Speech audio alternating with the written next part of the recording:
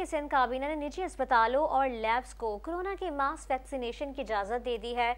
जबकि आपको बताएँ कि बोहरा कम्युनिटी को कब्रिस्तान के लिए 20 एकड़ ज़मीन देने की मंजूरी भी दे दी है और इससे साथ साथ आपको भी बताएँ कि तमाम तर इंतज़ाम करने की हिदायत भी कर दी है। तफसलत इस रिपोर्ट में जानिए।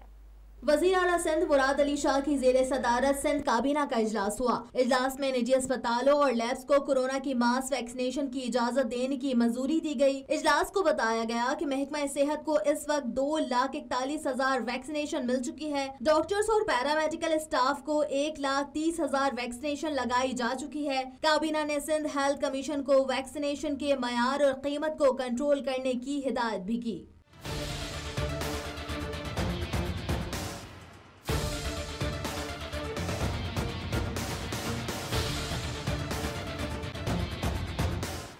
काबीना ने दाऊदी बोहरा कम्युनिटी को कब्रिस्तान के लिए 20 एकड़ अराजी देने की मंजूरी भी दी। बोहरी बिरादरी को मार्केट प्राइस के 25 फ़ीसद के बराबर रकम पर कब्रिस्तान के लिए रकम दी जाएगी। वज़ीर अला सिंध ने बोर्ड ऑफ़ रेवेन्यू को हिदायत दी कि दीगर बरादरियों के लिए कब्रिस्तान की अराजी का बंदोबस्त करे।